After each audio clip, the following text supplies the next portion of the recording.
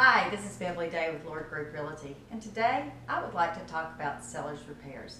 Because a lot of sellers say, why should I do anything? Do I have to do repairs? Well, of course you don't.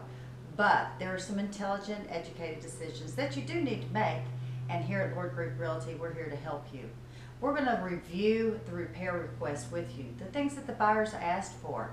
We're also going to look at the report and decide what really needs to be done. What's reasonable that these buyers are asking for?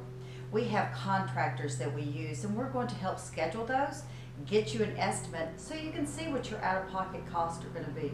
Remember, the main thing that you want to do is be reasonable and approach this in a calm manner. You want to make sure that you get your house closed and you can move on to your next home.